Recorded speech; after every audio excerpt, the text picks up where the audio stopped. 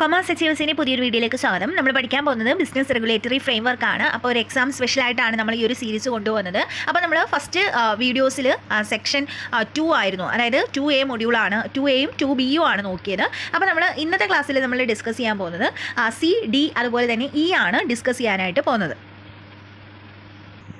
ഇതിന്റെ detailed class നമ്മുടെ channel available ആണ്. ലിങ്ക് ഡിസ്ക്രിപ്ഷൻ ബോക്സിൽ കൊടുക്കാം. നിങ്ങൾക്ക് അത് ഡീറ്റെയിൽഡ് ആയിട്ട് കണ്ട് മനസ്സിലാക്കാം. ഇപ്പോൾ നമ്മൾ ജസ്റ്റ് നിങ്ങൾക്ക് എക്സാമിനുള്ള പ്രിപ്പറേഷന് വേണ്ടി പെട്ടെന്നൊന്ന് പറഞ്ഞു പോവാണ്. പഠിച്ചതിന് ശേഷം നിങ്ങൾക്കൊന്ന് റിവൈസ് ചെയ്ത് കേട്ടിട്ട് പോകാൻ വേണ്ടിയാണ് ഈ ഒരു വീഡിയോ നമ്മൾ ഇടുന്നത്. അപ്പോൾ നമുക്ക് ടു സി മൊഡ്യൂൾ നമ്മൾ പഠിക്കാൻ പോകുന്നത് കൺസിഡറേഷൻ ആണ്. അപ്പോൾ കൺസിഡറേഷൻ എന്താണെന്ന് വെച്ചാൽ എനിത്തിങ് വിച്ച് ഈസ് റിട്ടേൺ എന്നാണ് കൺസിഡറേഷൻ എന്ന് പറയുന്നത്. അപ്പോൾ എന്താണ്?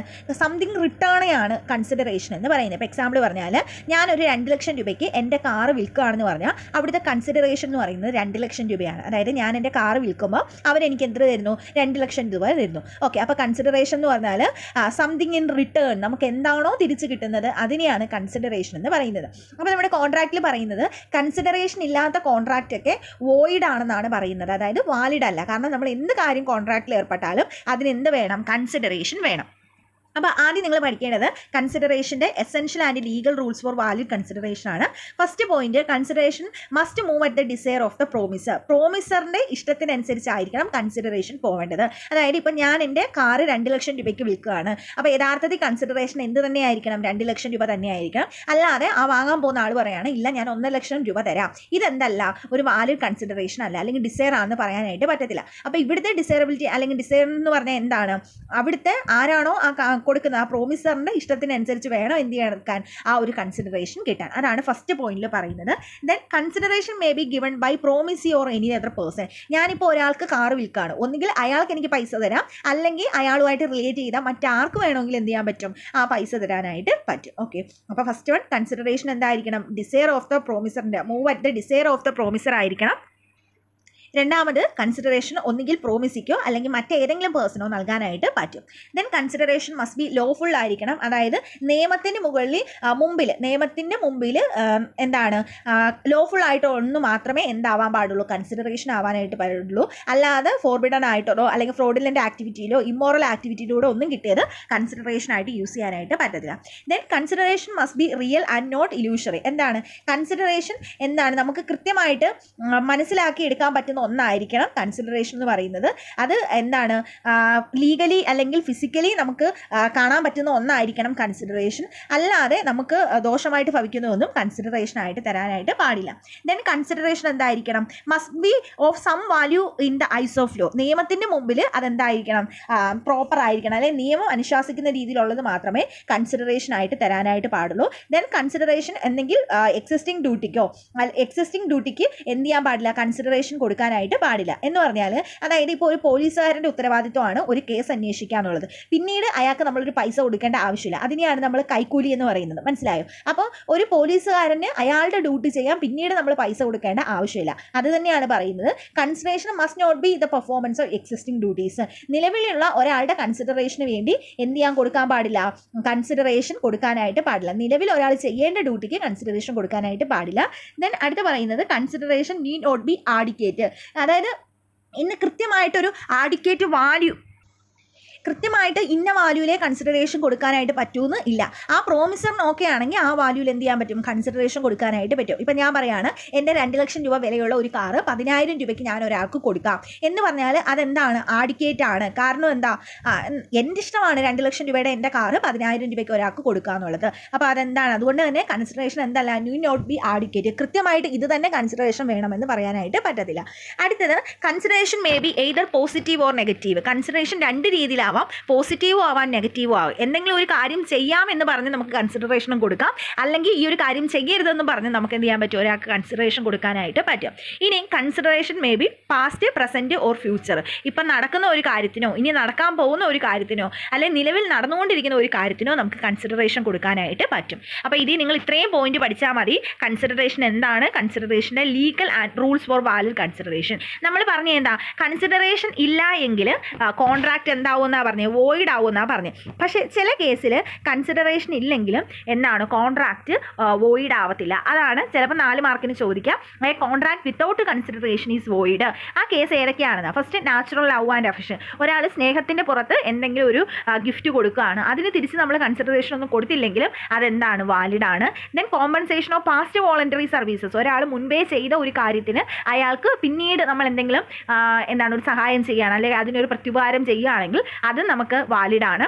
Then promise to pay time barred ഡെപ്റ്റ് time barred ഡെപ്റ്റ് as per limitation act അനുസരിച്ചൊക്കെ പറയുന്നുണ്ട്. അപ്പോൾ ആ പോയിന്റുകൾ മാത്രം നിങ്ങളൊന്ന് പഠിച്ചാൽ മതി നാച്ചുറൽ ലവ് ആൻഡ് അഫെക്ഷൻ അതുപോലെ തന്നെ compensation of past voluntary services promise to pay time barred ഡെപ്റ്റ് then complete gift actually made then consideration not required for the creation of contract of agency ഇപ്പോൾ കോൺട്രാക്ട് ഓഫ് ഏജൻസിയിലും consideration ഇല്ലെങ്കിലും അതെന്തായിട്ട് എടുക്കും valid ആയിട്ട് എടുക്കും. ഇനി ഇതിനകത്ത് വരുന്ന രണ്ട് ടേമുകൾ നിങ്ങളൊന്ന് പഠിച്ചു വെക്കണം. പ്രിവിറ്റി ഓഫ് കൺസിഡറേഷനും അല്ലെങ്കിൽ സ്ട്രെയിൻഡ് സ്ട്രെയിഞ്ചർ ടു കൺസിഡറേഷൻ അല്ല അതുപോലെ തന്നെ വരുന്നതാണ് പ്രിവിറ്റി ഓഫ് കോൺട്രാക്ട് അല്ലെങ്കിൽ സ്ട്രെയിഞ്ചർ ടു കോൺട്രാക്ട് എന്ന് പറയും. പ്രിവിറ്റി ഓഫ് കൺസിഡറേഷൻ എന്ന് പറഞ്ഞാൽ at a time privity of consideration means stranger to consideration or consideration given by any other person or other than promisee എന്ന് പറഞ്ഞാൽ പ്രിവിറ്റി ഓഫ് കൺസിഡറേഷൻ എന്താന്ന് പറഞ്ഞാൽ promisee അല്ലാതെ വേറെ ആർക്ക് വേണമെങ്കിലും എന്ത് ചെയ്യാൻ പറ്റും? കൺസിഡറേഷൻ കൊടുക്കാനായിട്ട് പറ്റും. ഇപ്പം ഞാൻ എന്റെ കാറ് വിറ്റാൽ ആ കാറിന്റെ പൈസ ഒന്നുകിൽ പ്രോമിസിക്ക് തരാം അല്ലെങ്കിൽ പ്രോമിസി പറയുന്ന മറ്റാർക്ക് വേണമെങ്കിലും തരാം. ഇതിനെയാണ് പ്രിവിറ്റി ഓഫ് കൺസിഡറേഷൻ എന്ന് പറയുന്നത്. പക്ഷേ പ്രിവിറ്റി ഓഫ് കോൺട്രാക്റ്റ് എന്ന് പറഞ്ഞാൽ ഇൻ കേസ് ഈ പ്രിവിറ്റി ഓഫ് കോൺട്രാക്റ്റ് എന്ന് പറയുമ്പോൾ എന്തെങ്കിലും ഒരു പ്രശ്നം ഉണ്ടാവുകയാണെങ്കിൽ മൂന്നാമതൊരാൾക്ക് എന്ത് ചെയ്യാൻ പറ്റത്തില്ല? ഇടപെടാനായിട്ട് പറ്റത്തില്ല. The term privity of contract means stranger to contract as per the doctrine of privity of contract a person who is not party to the contract cannot sue for carrying out the promise made by the parties അതായത് privity of consideration എന്ന് പറഞ്ഞാൽ രണ്ട് പേര് തമ്മിലുള്ള contract ആണെങ്കിൽ പോലും മൂന്നാമതൊരാൾക്ക് അതിൽ payment നടത്താനായിട്ട് പറ്റും. പക്ഷേ പ്രിവിറ്റി ഓഫ് കോൺട്രാക്റ്റിൽ പറയുന്നത് രണ്ട് പേര് തമ്മിലുള്ള കോൺട്രാക്റ്റിൽ എന്തെങ്കിലും പ്രശ്നം വരികയാണെങ്കിൽ മൂന്നാമതൊരാൾക്ക് എന്ത് ചെയ്യാൻ പറ്റത്തില്ല? കേസ് കൊടുക്കാനായിട്ട് പറ്റത്തില്ല. ഈ രണ്ട് ടേം ഓർത്ത് വെക്കുക പ്രിവിറ്റി ഓഫ് കൺസിഡറേഷൻ എന്ന് പറഞ്ഞാൽ രണ്ട് പേര് തമ്മിലുള്ള കോൺട്രാക്റ്റിൽ മൂന്നാമത് ഒരാൾക്ക് പേയ്മെന്റ് നടത്താൻ പറ്റും. കൺസിഡറേഷൻ കൊടുക്കാൻ പറ്റും. പക്ഷേ പ്രിവിറ്റി ഓഫ് കോൺട്രാക്ട് എന്ന് പറഞ്ഞാൽ രണ്ട് പേര് തമ്മിലുള്ള കോൺട്രാക്റ്റിൽ എന്തെങ്കിലും ഇഷ്യൂ ഉണ്ടായാൽ മൂന്നാമതൊരാൾക്ക് എന്ത് ചെയ്യാൻ പറ്റത്തില്ല? കേസ് കൊടുക്കാനായിട്ട് പറ്റത്തില്ല. ഇത്രയും മാത്രം നിങ്ങൾ മൂന്നാമത്തെ അതായത് ടു സി എന്നുള്ള മൊഡ്യൂളിൽ നിന്ന് പഠിച്ചാൽ മതി. അടുത്തത് ടു ഡി സെക്ഷനിലാണ് കപ്പാസിറ്റി ടു കോൺട്രാക്ട് എന്നാണ് പറയുന്നത്. കപ്പാസിറ്റി കോൺട്രാക്ട് എന്ന് പറഞ്ഞാൽ ഏതൊക്കെ വ്യക്തികൾക്ക് കോൺട്രാക്റ്റിൽ ഇൻക്ലൂഡ് ചെയ്യാനായിട്ട് പറ്റും. അപ്പോൾ കോൺട്രാക്റ്റിൽ കോമ്പിറ്റൻസിയും കേപ്പബിലിറ്റി ഉള്ള പാർട്ടീസ് ആരൊക്കെയാണെന്ന് ചോദിച്ചാൽ മേജർ ആയിരിക്കണം പേഴ്സൺ ഓഫ് സൗണ്ട് മൈൻഡ് ആയിരിക്കണം person not disqualified from contracting by law ആയിരിക്കണം. ഇനി നമ്മളുടെ ഈ ഒരു ചാപ്റ്ററിൽ ഡിസ്കസ് ചെയ്യുന്നത് ആർക്കൊക്കെയാണ് പറ്റാത്തത് എന്നുള്ളതാണ്. മൂന്ന് പേരെയാണ് ഡിവൈഡ് ചെയ്തേക്കുന്നത് മൂന്ന് പേരെയാണ് ക്ലാസിഫൈ ചെയ്തേക്കുന്നത്. ഒന്ന് മൈനർ രണ്ടാമത് person of unsound mind then മൂന്നാമത് പേഴ്സൺ ഡിസ്ക്വാളിഫൈഡ് ബൈ ലോ ഈ മൂന്ന് കേസിലാണ് നമ്മൾ പഠിക്കുന്നത്. അതിൽ ഫസ്റ്റ് പേഴ്സൺ എന്ന് പറയുന്നത് മൈനറാണ് മൈനർ എന്ന് പറഞ്ഞാൽ ആരാണ്? Not attain the age of eighteen പതിനെട്ട് വയസ്സ് തികയാത്തവരെയാണ് നമ്മൾ മൈനർ എന്ന് പറയുന്നത്. ഈ മൈനറിന് ഒരിക്കലും എന്തിൽ ഏർപ്പെടാൻ പാടില്ല. കോൺട്രാക്റ്റിൽ ഏർപ്പെടാൻ പാടില്ല. പക്ഷേ ചില കേസുകളുണ്ട്. അപ്പോൾ അതാണ് നമ്മളിവിടെ പഠിക്കാനായിട്ട് പോകുന്നത്.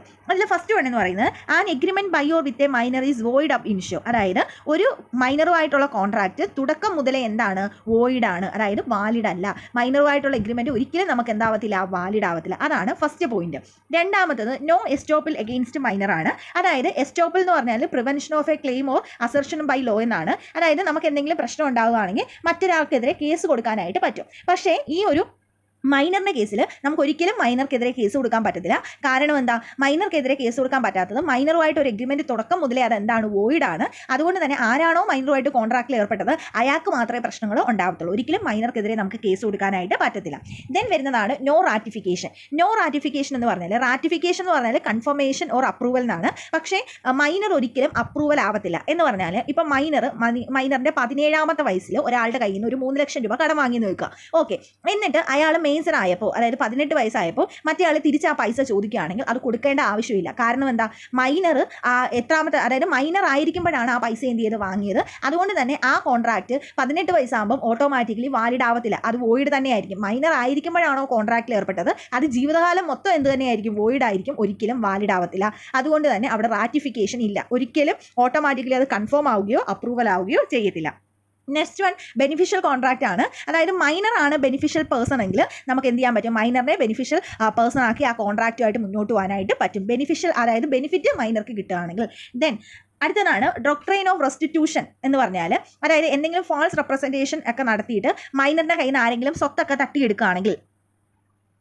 അത് പിന്നീട് മൈനർക്ക് തിരിച്ചു നൽകണം ഇപ്പോൾ എക്സാമ്പിൾ നമ്മൾ ഫോൾസ് റെപ്രസെന്റേഷൻ അല്ലെങ്കിൽ പോലും അതായത് മൈനർ മൈനറിന്റെ ഒരു പതിനേഴ് പതിനാറാമത്തെ വയസ്സിൽ എന്ത് ചെയ്തു? അയാളുടെ ഒരു ഒരു ഏക്കർ സ്ഥലം ഒരാൾക്ക് വിറ്റു. ഒരു അമ്പത് ലക്ഷം രൂപയ്ക്ക് വിറ്റെന്ന് വെച്ചു. അങ്ങനെ വിറ്റ് കഴിഞ്ഞ് മൈനർ മേജർ ആയപ്പോൾ മൈനർ പറയുക ആ ആൾ വേറെ പറയുകയാണ് അതായത് ഞാൻ എന്ന് എന്റെ അറിവില്ലായ്മ കൊണ്ടാണ് അയാൾക്ക് വിറ്റത്. എനിക്ക് ആ ഒരു പ്രോപ്പർട്ടി തിരിച്ചു വേണമെന്ന് പറഞ്ഞാൽ കോടതിയിൽ കേസ് പോയാൽ ആ വാങ്ങിയ ആളുടെ കയ്യിൽ നിന്ന് ആ ഒരു വസ്തു തിരിച്ച് മൈനർക്ക് വാങ്ങി കൊടുക്കാനായിട്ട് പറ്റും. കാരണം എന്താ? ആ മൈനർ മൈനർ ആയിരിക്കുന്ന സമയത്താണ് ഈ ഒരു കോൺട്രാക്റ്റിൽ ഏർപ്പെട്ടത്. അതുകൊണ്ട് തന്നെ ആ കു- ആരാണോ കോൺട്രാക്റ്റിൽ ഏർപ്പെട്ട മറ്റേ ആൾ അയാളുടെ കയ്യിൽ നിന്ന് ഇത് അവകാശം തിരിച്ചു വാങ്ങിയെടുക്കാനായിട്ട് പറ്റും. അതാണ് doctrine of restitution and minor എന്ന് പറയുന്നത്.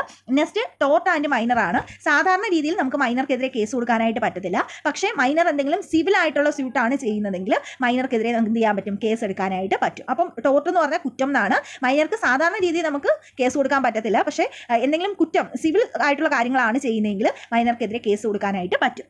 ദെൻ മൈനർക്ക് പാർട്ണർ ആവാൻ പറ്റുമോ എന്നുള്ളതാണ് അത്. മൈനർ ആസ് എ പാർട്ട്ണറോ പാർട്ട്ണർഷിപ്പ് മൈനർക്ക് പാർട്ട്ണർ ആവാൻ സാധാരണ രീതി പറ്റത്തില്ല. പക്ഷേ ബാക്കിയുള്ള പാർട്ട്നേഴ്സിന് ഓക്കെ ആണെങ്കിൽ മൈനറിനെ പാർട്ട്ണർ ആക്കാം. പക്ഷേ ആ പാർട്ട്ണർഷിപ്പിൽ നിന്ന് എന്ത് പ്രശ്നം ഉണ്ടായാലും അത് മൈനർ ഏറ്റെടുക്കേണ്ട ആവശ്യമില്ല. ഇനി അല്ല അതിൽ പ്രോഫിറ്റ് ഉണ്ടാവുകയാണെങ്കിൽ അത് മൈനർക്ക് വീതിച്ചെടുക്കാനും സാധിക്കും. അപ്പോൾ മൈനർക്ക് എന്താവാം? പാർട്ട്ണർ ആവാം. അടുത്ത മൈനർ ആസ് ആൻ ഏജന്റ് മൈനർക്ക് ആരും ആവാം. ഏജന്റ് ആവാം. നമ്മൾ ക്രിയേഷൻ ഓഫ് ഏജൻസി ഒക്കെ പഠിച്ചിട്ടുള്ളതാണ്. മൈനർക്ക് എന്താവാം? ഏജന്റ് ആവാം. ഇനി അതിൽ നിന്ന് എന്ത് പ്രശ്നം വന്നാലും ആരെ ഏറ്റെടുക്കണം? അതിന്റെ പ്രിൻസിപ്പൾ ഏറ്റെടുക്കണം. ഇനി minor as an insolvent minor minor എന്താവാം? പാപ്പരാവാം. അങ്ങനെ ഉള്ള കോൺട്രാക്റ്റ് മൈനറുമായിട്ടുള്ള കോൺട്രാക്റ്റുകളെല്ലാം എന്താണ്? വോയിഡ് ആണ്. അതുകൊണ്ട് തന്നെ ഇൻസോൾവെന്റ് ആയിട്ട് മൈനറിനെ cannot be declared as insolvent ആയിട്ട് ഡിക്ലെയർ ചെയ്യാൻ പറ്റത്തില്ല. കാരണം എന്താ? മൈനറുമായിട്ടുള്ള എല്ലാ എഗ്രിമെന്റും ഓൾറെഡി എന്താണ്? വോയിഡ് ആണ്. നെക്സ്റ്റ് വരുന്നത് മൈനർ ആൻഡ് നെഗോഷ്യബിൾ ഇൻസ്ട്രുമെന്റ് ആണ്. നെഗോഷ്യബിൾ ഇൻസ്ട്രുമെന്റ് എന്ന് പറഞ്ഞാൽ ഏതൊക്കെയാണ്? Cheque promissory note bill of exchange മൈനറിന്റെ ആവശ്യത്തിന് വേണ്ടിയാണെങ്കിൽ മൈനർക്ക് ചെക്കുകളും ചെക്കും പ്രോമിസറി നോട്ടും ഒക്കെ ഇഷ്യൂ ചെയ്യാം. അതിന്റെ ബെനിഫിറ്റ് കിട്ടുന്നത് മൈനർക്കാണെങ്കിൽ ഇഷ്യൂ ചെയ്യാം. Then liability of parents or guardian of minor അതായത് ഇപ്പോൾ മൈനർ ഒരാളുടെ കയ്യിൽ നിന്ന് ഒരു രണ്ട് ലക്ഷം രൂപ തിരി വാങ്ങിയിട്ടുണ്ടെങ്കിൽ അത് പേരൻസ് തിരിച്ചു കൊടുക്കേണ്ട ആവശ്യമില്ല. കാരണം എന്താ? അത് മൈനർ മാത്രം വാങ്ങിയ പൈസയാണ്. അങ്ങനെയുള്ള കേസിൽ പേരൻസ് ഉത്തരവാദികളല്ല. പക്ഷേ പേരൻസിന്റെ എന്തെങ്കിലും ആവശ്യത്തിന് വേണ്ടിയാണ് മൈനർ പൈസ വാങ്ങിയെങ്കിൽ പേരൻസ് എന്ത് ചെയ്യണം? തിരിച്ചു കൊടുക്കണം. ഇനി മൈനേഴ്സ് ലൈബിലിറ്റി ഫോർ നെസസറീസ് ആണ്. അതായത് മൈനറിന്റെ എന്തെങ്കിലും നെസസിറ്റിക്ക് വേണ്ടി ഒരാൾ സഹായിച്ചതാണെങ്കിൽ ആ പൈസ മൈനർ തിരിച്ചു കൊടുക്കണം. അതായത് ഇപ്പോൾ വിദ്യാഭ്യാസ ആവശ്യത്തിനോ അല്ലെങ്കിൽ എന്തെങ്കിലും മെഡിക്കൽ ആവശ്യത്തിനൊക്കെ നെസസിറ്റി ആയിട്ട് എന്തെങ്കിലും ഒരാൾ സഹായിച്ചതാണെങ്കിൽ അത് എന്ത് ചെയ്യണം? മൈനർ തിരിച്ചു കൊടുക്കണം. ഇത്രയാണ് മൈനറിന്റെ കേസിൽ പഠിക്കുന്നത്. നിങ്ങൾ ജസ്റ്റ് വായിച്ചു പോയാൽ മതി. എല്ലാം അതിന്റെ മലയാളം അർത്ഥം ഒന്ന് മനസ്സിലാക്കി വെച്ചിരുന്നാൽ മതി. ഇനി പേഴ്സൺസ് ഓഫ് അൺസൗണ്ട് പേഴ്സണിനകത്ത് മൂന്നായിട്ടാണ് ക്ലാസിഫൈ ചെയ്യുന്നത്. ഇഡിയറ്റ് ഉണ്ട് ലുനാറ്റിക്സ് ഉണ്ട് ഡ്രങ്കൺ ഉണ്ട്. ഇഡിയറ്റ് എന്ന് പറഞ്ഞാൽ ജന്മന മാനസിക പ്രോബ്ലം ഉള്ളവരെയാണ് നമ്മൾ ഇഡിയറ്റ് എന്ന് പറയുന്നത്. അവരുമായിട്ട് ഒരിക്കലും കോൺട്രാക്റ്റിൽ ഏർപ്പെടാനായിട്ട് പാടില്ല. ഇഡിയറ്റുമായിട്ടുള്ള കോൺട്രാക്റ്റുകൾ അബ്സല്യൂട്ട്ലി വോയിഡ് ആണ്. ലുനാറ്റിക്സ് എന്ന് പറഞ്ഞാൽ ഇഡിയറ്റിന്റെ മറ്റൊന്നാണ്. അതായത് ഇവർക്ക് ജന്മനാ പ്രോബ്ലം ഇല്ല. പക്ഷേ പിന്നീട് എന്തെങ്കിലും ഒരു കാരണം കൊണ്ട് മാനസികമായി പ്രോബ്ലം ഉണ്ടാകുന്നവരെയാണ് നമ്മൾ ലുനാറ്റിക്സ് എന്ന് പറയുന്നത്. ഇപ്പോൾ എന്തെങ്കിലും ആക്സിഡന്റ് കാരണമോ ആരെങ്കിലും മരണമൊക്കെ കാരണം എന്തെങ്കിലും പ്രോബ്ലം ഉണ്ടാവുകയാണെങ്കിൽ അത്തരത്തിലുള്ളവരെയാണ് നമ്മൾ എന്തെന്ന് പറയുന്നത്? ലുനാറ്റിക്സ് എന്ന് പറയുന്നത്. അപ്പോൾ അവരുമായിട്ടും കോൺട്രാക്റ്റിൽ ഏർപ്പെടാനായിട്ട് പറ്റത്തില്ല. നെക്സ്റ്റ് വരുന്നത് ഡ്രങ്കൺ ആണ്. അതായത് മദ്യപാനികൾ മദ്യപാനികളുമായിട്ടും ഒരിക്കലും നമ്മൾ എന്തിൽ ഏർപ്പെടാൻ പാടില്ല? കോൺട്രാക്റ്റിൽ ഏർപ്പെടാനായിട്ട് പാടില്ല. ഇനി മൂന്നാമത്തത് പേഴ്സൺ ഡിസ്ക്വാളിഫൈഡ് ബൈ ലോ ആണ്. ഒന്ന് ഏലിയൻ എനിമീസ് ഏലിയൻ എനിമീസ് എന്ന് വെച്ചാൽ നമ്മളുടെ അയൽ രാജ്യങ്ങൾ എന്ന് പറയാം. അതായത് നമ്മളുമായിട്ട് ശത്രുതകളുള്ള രാജ്യങ്ങൾ അവരുമായിട്ട് കോൺട്രാക്റ്റിൽ ഏർപ്പെടാൻ പറ്റത്തില്ല. പിന്നെ അവിടുത്തെ സോവർജിൻസോ അല്ലെ അംബാസിഡേഴ്സോ ഡിപ്ലോമാറ്റിക് സ്റ്റാഫുകളുമായിട്ടൊന്നും കോൺട്രാക്റ്റിൽ ഏർപ്പെടാൻ പറ്റത്തില്ല. ഇൻസോൾവെന്റ് നിലവിൽ പാപ്പരായിട്ട് നിൽക്കുന്ന ഒരു വ്യക്തിയായിട്ട് കോൺട്രാക്റ്റിൽ ഏർപ്പെടൽ കോൺവിക്സ് അതായത് എന്തെങ്കിലും കുറ്റവാളികളുമായിട്ട് കുറ്റം ചെയ്തവരുമായിട്ട് കോൺട്രാക്റ്റിൽ ഏർപ്പെടാൻ പാടില്ല. കോർപ്പറേഷൻ ആൻഡ് കമ്പനീസുമായിട്ട് കോൺട്രാക്റ്റിൽ ഏർപ്പെടാൻ പാടില്ല. കാരണം എന്താ? കമ്പനീസ് എന്ന് പറഞ്ഞാൽ അത് ആർട്ടിഫിഷ്യൽ പേഴ്സൺ ആണ്. അതുകൊണ്ട് തന്നെ നമുക്ക് ഒരു വ്യക്തിയല്ല കമ്പനി എന്ന് പറയുന്നത്. അതുകൊണ്ട് തന്നെ അവരുമായിട്ട് കോൺട്രാക്റ്റിൽ ഏർപ്പെടാൻ പറ്റത്തില്ല. അപ്പോൾ ഇത്രയാണ് കപ്പാസിറ്റി ടു കോൺട്രാക്റ്റ് ഇത് ഒരു തവണ എസ് എ ആയിട്ട് ചോദിച്ച ക്വസ്റ്റ്യൻ ആണ്. അപ്പോൾ ഇത് ചോദിക്കുകയാണെങ്കിൽ ആരൊക്കെയാണ് ഇൻകേപ്പബിൾ എന്ന് ചോദിച്ചാൽ മൈനർ ഉണ്ട്. അതുപോലെ തന്നെ മൈനറുമായിട്ട് ബന്ധപ്പെട്ട എഫക്ട്സ് എഴുതണം. ദെൻ വരുന്നത് അൺസൗണ്ട് പേഴ്സൺ ആണ്. അതിൽ മൂന്ന് പേരാണ് വരുന്നത്. ഇഡിയറ്റ് ലുനാറ്റിക്സ് ഡ്രങ്കൺ പിന്നെ വരുന്നത് പേഴ്സൺ ഡിസ്ക്വാളിഫൈഡ് ബൈ ലോ ഇനി ടു ഇക്കകത്ത് നമ്മൾ പഠിക്കാൻ പോകുന്നത് ഫ്രീ കൺസെന്റ് ആണ്. ഫ്രീ കൺസെന്റ് എന്ന് പറഞ്ഞാൽ പൂർണ സമ്മതം എന്നാണ്. അതായത് ഈ കോൺട്രാക്റ്റിൽ ഏർപ്പെടുന്നവർ പൂർണ സമ്മതത്തോട് മാത്രമേ എന്തിൽ ഏർപ്പെടാൻ പാടുള്ളൂ? കോൺട്രാക്റ്റിൽ ഏർപ്പെടാൻ പാടുള്ളൂ. പക്ഷേ ഈ ഒരു ചാപ്റ്ററിൽ നമ്മൾ ഡിസ്കസ് ചെയ്യാൻ പോകുന്നത് ചില പേഴ്സൺസ് ചില കാര്യങ്ങൾ കൊണ്ട് കോൺട്രാക്റ്റിൽ ഏർപ്പെടും. അത് ഏതൊക്കെ സിറ്റുവേഷൻ ആണെന്നാണ് പറയുന്നത്.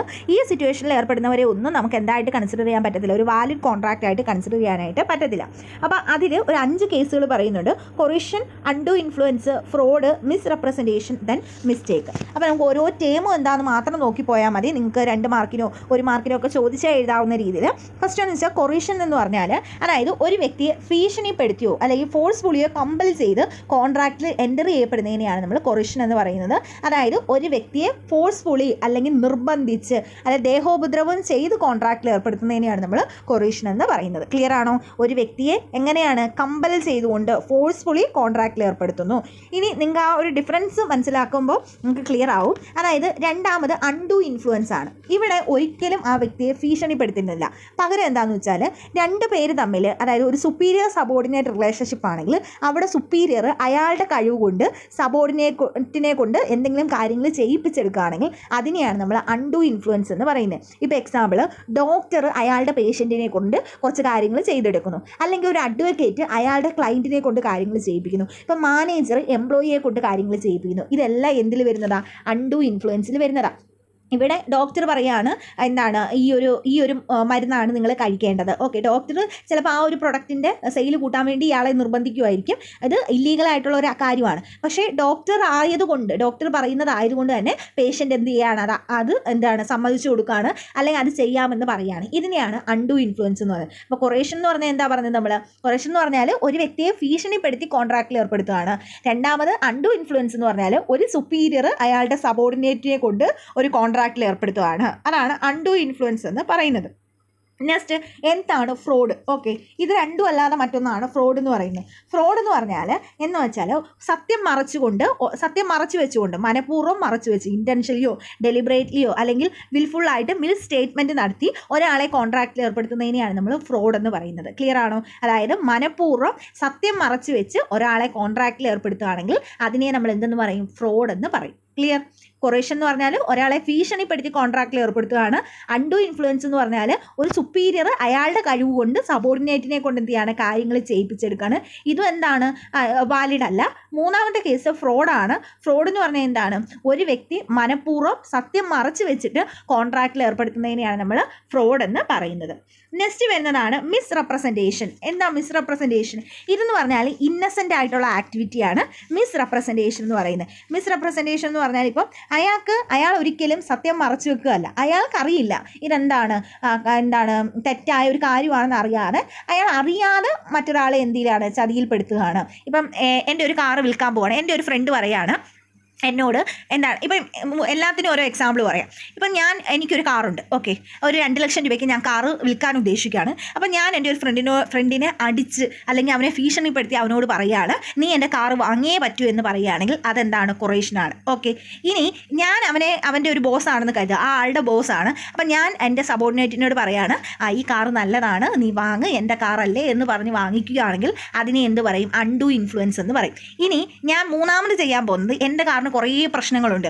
ഈ പ്രശ്നങ്ങളൊന്നും പറയാതെ ഞാൻ എന്റെ ഫ്രണ്ടിനോട് പറയാണ് നീ എന്റെ കാർ വാങ്ങിക്കോ നല്ല കാറാണ് നല്ല മൈലേജ് കിട്ടും. ഇതൊന്നും സത്യമല്ല. ഇതെല്ലാം മനഃപൂർവം മറിച്ച് വെച്ചിട്ട് ഞാൻ അവനെ കൊണ്ട് കാറ് വാങ്ങുവാണെങ്കിൽ അതിനെ എന്ത് പറയും നമ്മൾ ആ നമ്മൾ ഫ്രോഡ് എന്ന് പറയും. ഇനി മിസ് റെപ്രസെന്റേഷൻ എന്ന് പറഞ്ഞാൽ ഇപ്പം എന്റെ കാറിന് ഇത്തരത്തിലുള്ള പ്രോബ്ലംസ് ഒക്കെ ഉണ്ട്. ഓക്കെ പക്ഷേ ഞാൻ അറിയുന്നില്ല ഈ പ്രോബ്ലംസ് ഒക്കെ ഉണ്ടെന്ന്. എന്നെ സംബന്ധിച്ചോളം എന്റെ കാറ് നല്ലതാണ്. അപ്പം ഞാൻ എന്റെ ഫ്രണ്ടിനോട് പറയാണ് എന്റെ കാർ അത്യാവശ്യം നല്ലതാണ് നിനക്കിത് വാങ്ങാം എന്ന് പറയണം. പക്ഷേ എനിക്കും അറിയത്തില്ല. അതിന്റെ മൈലേജ് ഒന്നും കിട്ടുന്നില്ല എന്ന് അറിയത്തില്ല.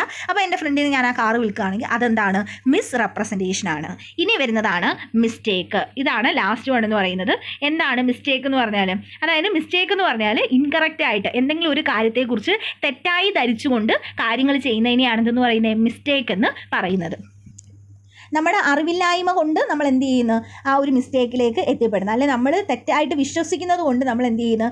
നമ്മൾ ആ ഒരു മിസ്റ്റേക്ക് ചെയ്യുന്നു. ഇപ്പോൾ എക്സാമ്പിൾ പറഞ്ഞാൽ നമ്മൾ എന്താണ് ഒരു നമ്മൾക്ക് നമ്മൾക്കൊരു ബേക്കറി ആണെന്ന് കരുതുക. അപ്പോൾ അവിടെ ഒരുപാട് പ്രൊഡക്റ്റ് ഉണ്ടല്ലോ. ഇപ്പോൾ ഇതിനെല്ലാം എക്സ്പയറി ഡേറ്റ് ഉണ്ട്. അപ്പോൾ ഞാൻ ഈ എക്സ്പയറി ഡേറ്റ് നോക്കാതെ ഞാൻ ഒരാൾക്ക് ഇത് വിറ്റാൽ ഒരാൾക്ക് എന്താണ് ബ്രെഡ് വാങ്ങാൻ വന്ന ഒരാൾക്ക് എക്സ്പയറി ഡേറ്റ് കഴിഞ്ഞ് ഒരു ബ്രെഡ് വിൽക്കുകയാണ്. പക്ഷേ ഞാൻ അറിഞ്ഞുകൊണ്ടല്ല. അപ്പോൾ അതെന്താണ് മിസ്റ്റേക്കാണ് കാരണം എന്റെ അറിവില്ലായ്മ കൊണ്ടാണ്. പക്ഷേ എനിക്കറിയായിരുന്നു ഇത് എക്സ്പയറി ഡേറ്റ് കഴിഞ്ഞതാണ്. അപ്പോൾ ഞാൻ ഇത് അറിയാതെ അതായത് എക്സ്പയറി ഡേറ്റ് കഴിഞ്ഞാന്നുള്ളത് പറയാതെ ഈ സാധനം അയാൾക്ക് കൊടുത്താൽ അതെന്താണ്? ഞാൻ കാണിച്ചത് ഫ്രോഡാണ് ഓക്കെ ഇതാണ് ഈ അഞ്ച് ടേമുകൾ തമ്മിലുള്ള വ്യത്യാസം. ഒന്നുകൂടെ ഒന്ന് പറഞ്ഞു പോകാം. കൊറേഷൻ എന്ന് പറഞ്ഞാൽ ഒരാളെ ഭീഷണിപ്പെടുത്തി സാധനങ്ങൾ വാങ്ങിപ്പിക്കുന്നതിനെ അല്ലെങ്കിൽ ഭീഷണിപ്പെടുത്തി കോൺട്രാക്റ്റിൽ ഏർപ്പെടുത്തുന്നതിനെ നമ്മൾ കൊറേഷൻ എന്ന് പറയും. അണ്ടു ഇൻഫ്ലുവൻസ് എന്ന് പറഞ്ഞാൽ ഒരാളെ ഇൻഫ്ലുവൻസ് ചെയ്ത് സുപ്പീരിയർ സബോർഡിനേറ്റിനെ ഇൻഫ്ലുവൻസ് ചെയ്ത് സാധനങ്ങൾ വാങ്ങുകയാണെങ്കിൽ അല്ലെങ്കിൽ കോൺട്രാക്റ്റിൽ ഏർപ്പെടുത്തുകയാണെങ്കിൽ അതിനെ നമ്മൾ അണ്ടു ഇൻഫ്ലുവൻസ് എന്ന് പറയും. ഇനി ഒരാളെ തെറ്റിദ്ധരിപ്പിച്ച് അയാളോട് കള്ളം പറഞ്ഞ് കോൺട്രാക്റ്റിൽ ഏർപ്പെടുത്തുകയാണെങ്കിൽ ഇനി ഫ്രോഡ് എന്ന് പറയും. ദെൻ നമ്മൾ അറിയാതെ കള്ളത്തരം ആണെങ്കിൽ പോലും നമ്മൾ അത് അറിയുന്നില്ല. അറിയാതെ ഒരാളെ കോൺട്രാക്റ്റിൽ ഏർപ്പെടുത്തുകയാണെങ്കിൽ അതിനെ മിസ് റെപ്രസെന്റേഷൻ എന്ന് പറയും.